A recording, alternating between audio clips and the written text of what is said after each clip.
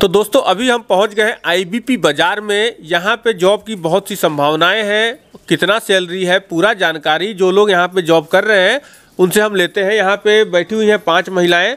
क्या काम करती हैं कितना सैलरी है और क्या क्या सुविधाएँ हैं सारा हम जानकारी लेते हैं। इस तरह से इनके पास बहुत सारे जॉब हैं। पूरा डिटेल हम लेते हैं। तो आपका क्या नाम है? चांदनी देवी। चांदनी देवी। तो आपको यहाँ कितने दिन से नौकरी कर रही हैं आप? छः महीना सात महीना हो गई छः सात महीना हो गया है। तो आपको सैलरी कितना मिल रहा है? पाँच हज़ार।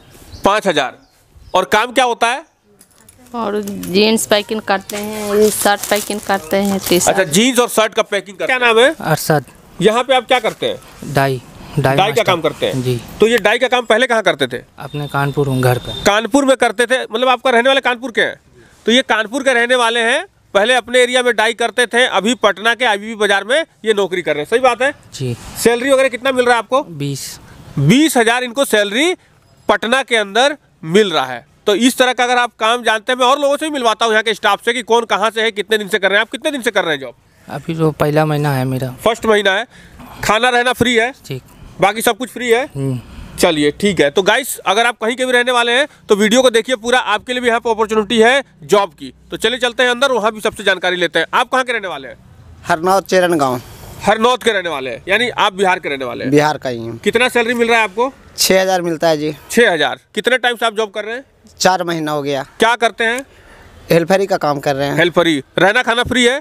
रोटी कपड़ा मकान फ्री है रोटी कपड़ा मकान देखिए कितना मतलब सही बात है तो कम से कम ये चार हज़ार रुपये का तो रोटी कपड़ा और मकान का भी ये ले रहे हैं यानी कि इनका छः हज़ार सैलरी है लेकिन ये पहुँच जा रहा है दस हज़ार पे। तो चलिए चलते हैं और लोगों से भी हम मिलवाते हैं। आप क्या करते हैं? ये मैनेजमेंटल का काम करते हैं जैसे माल देना माल उठाना और यहाँ काम करवाना।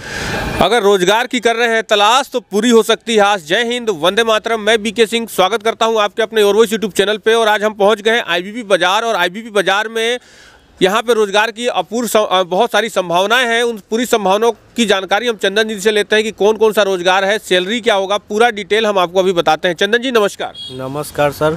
यहाँ पे क्या आप देने वाले हैं लोगों के लिए? क्या रोज़गार है? सबसे पहले तो आपके व्यूवर जो भी लोग ये वीडियो देखेंगे जिन तक अभी जिन जिन लोगों तक अभी मेरा बात नहीं पहुँच रहा है वीडियो के माध्यम से उन लोगों तक भी मेरा बात पहुंचेगा।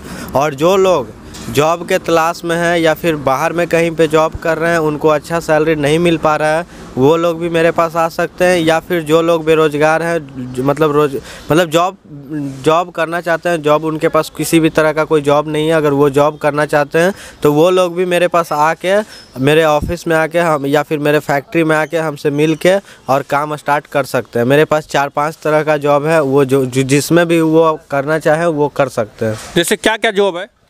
सबसे पहले तो जो मेरा आइटम है सर आपके चैनल आपके चैनल पे दो तीन दो तीन, ये मेरा तीसरा वीडियो है तो आपके चैनल पे जो भी आइटम दिखाया गया है, उसको हम लोग मार्केट में सेल करवाते हैं। तो सेल्समैन का ज़रूरत है सेल्समैन को हम लोग, जैसे मान लीजिए जो जीन्स हम लोगों का सौ रुपये में मार्केट में सेल होता है, ये आपका काउंटर पर रेरी पटरी पे बाज़ार में तो वो जीन्स उनको बेचना है और बेच के जो भी वो बेचेंगे, डेली डेली उनको पैसा मिलेगा तीस परसेंट। और सबसे बड़ा, सबसे प्लस पॉइंट मेरा किसी भी जॉब कर, किसी टाइप का भी जॉब वो कस्टमर करते हैं तो ना उनको रहने का टेंशन है, ना खाना का टेंशन है। रहना खाना मेरे कंपनी में फ्री है।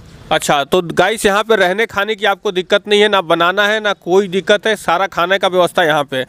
एक चीज़ और पूछना चाहूँगा कि आप जैसा बोल रहे हैं कि आप जो है तीस परसेंट उनको देंगे।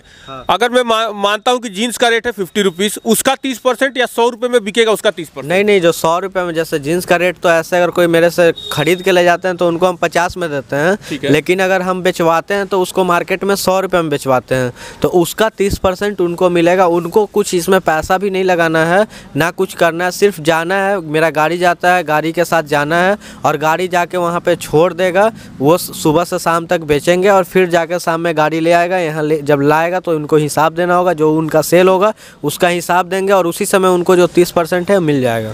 तो गाइस रहने की व्यवस्था, खाने की व्यवस्था, आपके साथ गाड़ी जाएगा, गाड़ी पे आप एज ए सेल्समैन वहाँ पे आप उस प्रोडक्ट को सेल करेंगे और सेल करने के बाद जितना भी आप अमाउंट लेके आएँगे, उसका थर्टी परसेंट आपको मिलेगा। अगर दो हज़ार रुपये का सेल होता है तो छः सौ रुपये आपको हैंड टू हैंड उसी समय शाम को मिल जाएगा। तो पैसे की प्रॉब्लम नहीं है डेली का डेली आप अपना तनख्वाह अपना रोज़गार रोज़गार बोलते हैं रोज का होना चाहिए तो रोज रोज आपको सैलरी यहाँ पे मिल जाएगा। ये तो हो गया सेल्समैन का। इसके अलावा और भी कोई जॉब है? सबसे सबसे बड़ा चीज़ क्या है कि बहुत लोगों के पास पैसा नहीं होता है अपना खुद का बिज़नेस स्टार्ट करने के लिए लेकिन यहाँ पे अगर वो आके ऐसे काम करेंगे सेल्समैन तो उनको ऐसा महसूस होगा कि मेरा अपना खुद का बिज़नेस है और वो जितना ज़्यादा से ज़्यादा बेचेंगे उतना ज़्यादा से ज़्यादा उनका कमाई होगा। हाँ तो गाइस ज़्यादा बेचेंगे, ज़्यादा कमा पाएँगे। आपके बेचने के ऊपर डिपेंड है यहाँ पे सैलरी इसके अलावा और कौन सा जॉब है आपके पास? मेरे पास जो टेलर हो गए हैं टेलर मास्टर जो सिलाई जानते हो, जुग्गी मशीन जो चलाए हुए हों, या फिर कहीं भी बाहर स्पोर्ट लाइन में काम किए हुए हों, वो लोगों के लिए भी जॉब है, जैसे रहना खाना फ्री है, और एक टारगेट बेस्ड सैलरी है, ठीक है? यहाँ से वो बीस हज़ार तक का भी सैलरी उठा सकते हैं, लेकिन एक टारगेट बेस्ड सैलरी है, और यहाँ पे वो आके काम समझेंगे। अगर वो काम समझते हैं, काम समझ के मतलब मान के चलिए कि दस बारह हज़ार रुपया तो कमा ही लेंगे, लेकिन अगर वो उनको उनके अंदर टैलेंट होगा तो महीने का बीस हज़ार रुपया भी कमा सकते हैं। तो गाइस यहाँ पे आने के बाद सैलरी ठीक ठाक है और टारगेट बेस्ड सैलरी है यानी अगर आप में दम है तो आप मैक्सिमम सैलरी ले सकते हैं ज़्यादा से ज़्यादा कमा सकते हैं। सेल्समैन का जॉब है उसके बाद टेलर मास्टर का जॉब है अगर कारीगर भी हैं तो उनके लिए भी है और टेलर मास्टर भी है तो उनके लिए भी है तो टेलर मास्टर हो गया प्रेस करने वाला हो गया। तीसरा जो मेरा पार्ट है। ठीक है? उसमें आपका मान के चलिए कि जो प्रेस किए हुए होंगे, किसी भी स्पोर्ट लाइन में प्रेस किए होंगे तो स्ट्रीम प्रेस होता है, ठीक है? आपके बहुत सारे वीडियो में मेरा प्रेस मशीन भी दिखाया गया कि किस टाइप का मेरे यहाँ पे प्रेस है तो वो व्यूअर आपके होंगे, वो वीडियो देखेंगे तो उनको पता चल जाएगा कि किस टाइप का मशीन है। तो प्रेस करने में भी वही है मैक्सिमम सैलरी उनका अट्ठारह होगा और मिनिमम वो जितना उठा सकते हैं टारगेट बेस्ड सैलरी है, जितना वो टारगेट अचीव करेंगे, उतना उनको सैलरी मिलेगा। अगर डेली का वो 500 पीस आयरन करते हैं तो महीने का पंद्रह हुआ तो वो महीने में अट्ठारह हज़ार रुपये कमा सकते हैं। तो गाइस यहाँ पे संपूर्ण चीज़ें मिल रही है, संभावनाएँ कई है, वो डिपेंड करेगा आपके ऊपर कि आप किस एलिजिबिलिटी क्राइटेरिया को आप पूरा करेंगे। उस एलिजिबिलिटी के हिसाब से आपको यहाँ पे मिलेगा जॉब जॉब के साथ साथ है रहना का सुविधा, उसके साथ है खाने का सुविधा और आप किसी भी स्टेट से हैं कहीं से भी हैं अगर आप उस चीज़ को फुलफ़िल करते हैं वो मैचिंग होता है आपका और चंदन जी के साथ तो यहाँ आके आप सैलरी उठा सकते हैं यहाँ आके आप जॉब कर सकते हैं। और भी और भी एक मेरे पास काम है जैसे मान लीजिए कि जो एकदम मतलब जिसको कुछ नॉलेज नहीं है एकदम जिसको हेल्पर बोलते हैं हाँ। पढ़ा लिखा हो या ना पढ़ा लिखा हो उससे कोई मतलब नहीं है। मेरे पास ऐसे तो पढ़ा लिखा का कोई काम भी नहीं है। अगर कोई मतलब नहीं पढ़ा लिखा भी है तो वो भी मेरे यहाँ पे काम कर सकता है। हेल्पर का क्या है कि हेल्पर में आपको बारह घंटा ड्यूटी करना होगा और रहने खाने का सुविधा है और छः हज़ार रुपये महीना मिलेगा। तो क्या मतलब उसको क्या करना है ड्यूटी में बारह घंटे? बारह घंटा हेल्पर है तो एक डिपार्ट दिया जाएगा उसी में सामान उठा के इधर से उधर इधर से उधर बस सिर्फ़ मतलब कपड़ा का काम है तो कपड़ा ही उठा के इधर से उधर रखना है या फिर पसारना है या फिर उतारना है जहाँ पे डाई होता है वहाँ पर पसारना उतारना है उसी टाइप का उसको हेल्पर का काम दिया जाएगा और बारह घंटा का काम दिया जाएगा। अच्छा ये टोटल जो जॉब है कितने लोग की लोगों के लिए जॉब अपॉर्चुनिटी है? कितने लोग यहाँ पे जॉब पे आप रखेंगे? अभी तो अभी तो जैसा कंपनी का जैसा हम लोगों का जो मानना है कि अभी कंपनी के अंदर कम से कम पचास सेल्समैन चाहिए, पाँच छः टेलर चाहिए, चार पाँच आयरन करने के लिए चाहिए और मिला जुला के मान के चलिए कि बीस हेल्पर का ज़रूरत है। मतलब पूरा अगर बोला जाए तो सौ लोगों का भी ज़रूरत है कंपनी को। तो गाइस ये चीज़ मैं आपको बता दूँ, पटना के अंदर 100 लोगों की रोज़गार की अब मतलब बहुत बड़ी संभावनाएँ हैं। यहाँ पे आके आप कर सकते हैं और काम कोई हार्ड मुझे दिखाई नहीं दे रहा है। किसी को पैकिंग करना है टेलर मास्टर है, वो एक्सपर्ट है, वो टेलरिंग का काम करना है, यहाँ पे कुछ छटाई करना है, या तकरीबन काफ़ी जॉब है। ये डिपेंड करेगा आपके ऊपर, आपकी क्वालिटी के ऊपर कि किस तरह की आपकी क्वालिटी है, उस तरह का जॉब है। पसंद आए तो करिए और नहीं पसंद आए तो एक दो दिन के अंदर अपना देख के आप यहाँ से छोड़ भी सकते हैं। तो इस तरह से कोई प्रॉब्लम नहीं है। पैसा है तो बिज़नेस कीजिए पैसा नहीं है तो पैसा कमाइए कुछ पैसा कमा लीजिए उसके बाद आप अपना बिज़नेस स्टार्ट करिए। एक चीज़ और सबसे ज़्यादा ज़रूरी है कि जो लोगों को देखिए कोई भी लोग अगर बाहर से आते हैं तो उनको काम करने का मन होता है ठीक है? तो सबसे पहले तो ये बता देना चाहते हैं कि यहाँ पे मेरे यहाँ पे कोई चार्ज नहीं लिया जाता है कि जैसे जॉब लगा रहे हैं तो पाँच सौ रुपये दीजिए तब जाके जॉब लगेगा हज़ार रुपये दीजिए तो जॉब लगेगा तो ऐसा कुछ भी नहीं है। कोई लोग भी कहीं से भी आके विज़िट कर सकते हैं वो यहाँ आके काम देख सकते हैं अगर उनको काम समझ में आता है तो करेंगे। लेकिन आने से पहले उनको जैसे कुछ डॉक्यूमेंट लगता है तो उस डॉक्यूमेंट के बारे में बताने से ज़्यादा अच्छा होगा।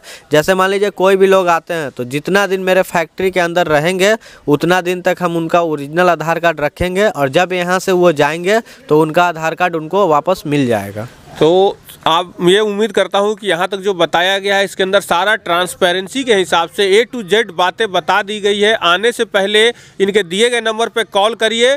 जब आप सेटिस्फाई हो जाते हैं जब ये सेटिस्फाई हो जाते हैं जब दोनों सेटिस्फाई होने के बाद आप ये बोलते हैं कि आप आइए उसके बाद ही आइएगा बिना बताए बिना किसी नॉलेज के यहाँ आके आप जॉब के लिए मत आइएगा कॉल करके सारा जानकारी लेने के बाद ही यहाँ पे आइएगा। तो उम्मीद करता हूँ गाइस ये वीडियो में हमने आपको जॉब के लिए बताया है जॉब की ज़रूरत है तो आइए और आपको पसंद आता है तो जॉब करिए नहीं तो एक दो दिन रह के आपको आपको ठीक नहीं लगता है तो यहाँ से आप जा सकते हैं। उसका भी कोई चार्ज नहीं है। अगर मान लीजिए कोई ए, कोई लोग जो व्यूअर हैं जो देख रहे हैं अगर मान लीजिए कि जॉब के लिए आए ठीक है आते हैं तो उनका भी पैसा बर्बाद होता है एक दो दिन रहें अगर उनको नहीं समझ में आता है तो उसके लिए कोई चार्ज मेरे यहाँ पे नहीं लिया जाता है। तो ये देखिए कितना प्लस पॉइंट है। चंदन जी की तरफ़ मैं मैं मतलब इनको शाबाशी देना चाहूँगा कि अगर मान लीजिए दो दिन आप रहे रहते हैं आपको काम समझ में नहीं आता है तो खाना और रहना भी फ्री है इनके पास। तो ये सबसे बड़ा प्लस पॉइंट है। आके देखिए पसंद आता है तो रहिए। अगर पसंद नहीं आता है तो आप जा सकते हैं यहाँ पे। सारा कोई बाउंडेशन नहीं है किसी चीज़ का। तो गाइस उम्मीद करता हूँ वीडियो आपको पसंद आया होगा और वीडियो अगर पसंद आ रहा है तो लाइक भी करना है इसको।